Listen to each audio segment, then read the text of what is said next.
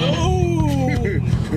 know why you do that? Uh, hold me back. Because I'm a beast. Nato's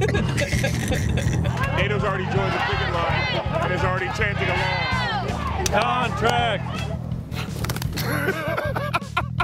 Like we probably have something to learn about what's happening in the rest of the country.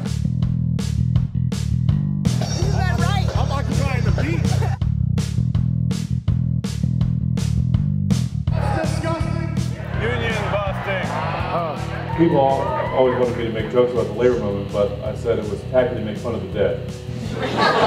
You're going to work, you're going to school, and there's a guard tower yeah.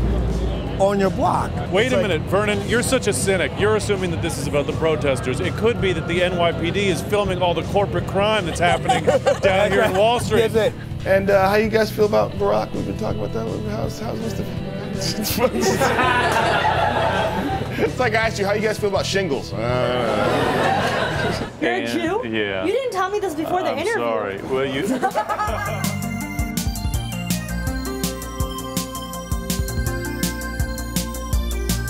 he thought I was Cornel West. Are you serious? Yeah, he's gotten two. Thank you so much. You were wonderful. I'm just sleepy. It's not, I don't look like I'm 65 years old.